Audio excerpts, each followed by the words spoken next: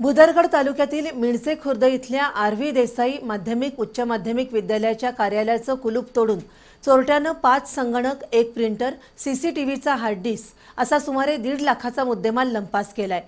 भुदरगड पोलिसात या चोरीची नोंद झाली आहे भुदरगड तालुक्यातील मिंचे माध्यमिक प्रशालेनं पाच संगणक खरेदी केले होते.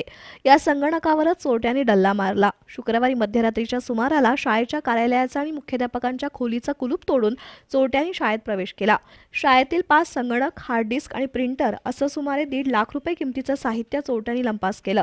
शाळेत यापूर्वी तीन चार वेळा किरकोळ चोरीच्या घटना घडल्यात. त्यानंतर चोरट्याला जेरबंद करण्यासाठी शिक्षकांनी सापळा लावला होता पण यावेळी चोरट्यानं शाळेतील दिवे काढून अंधार निर्माण केला आणि चोरी केली. त्यामुळे संबंधित चोरटा माहितगार असावा अशी चर्चा मिंचे परिसरात आहे. दरम्यान पोलिसांनी ठसे तज्ञाला पाचारण करून पुढील तपास सुरू केलाय.